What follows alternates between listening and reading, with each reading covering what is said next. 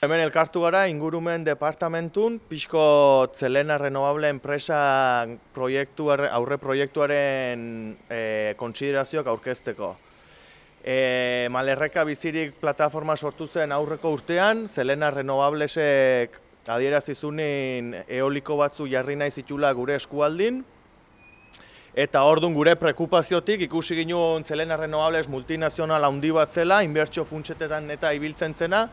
eta gure prekupazioetatik ba, hasi ginen pixko antolatzen, informatzen eta hola, eta ikusi ginen ba, etzela bideragarria gure eskualdin horrelako makroproiektu eoliko bat egitea.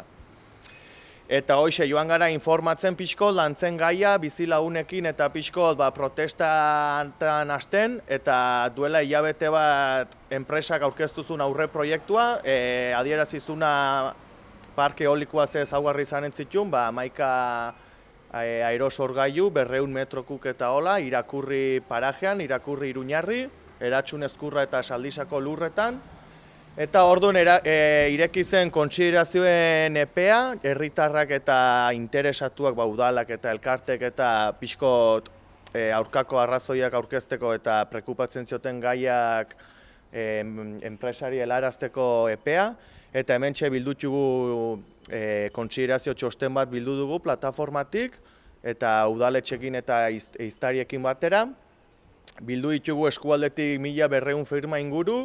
eta hemen txetorri gara ingurumen saiera firmak entregatzera registratzeko gobernura iristeko.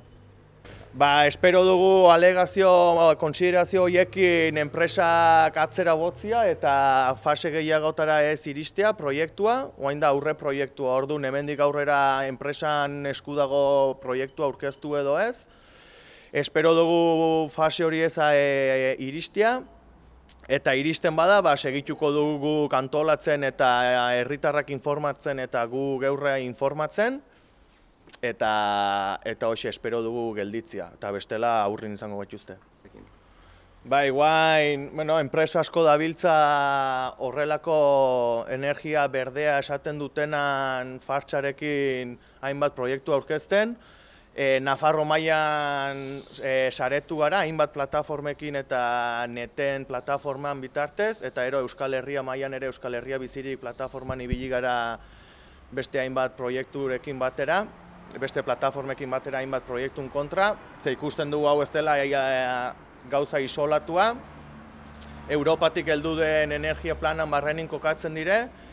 megaproiektu horiek e, guk txikitzaile bezala konsideratzen txugunak, ze berdetik eta ekologiatik ez dute deus, ingurumena txikitu nahi dute beraien poltsiku gazitzen segitzeko,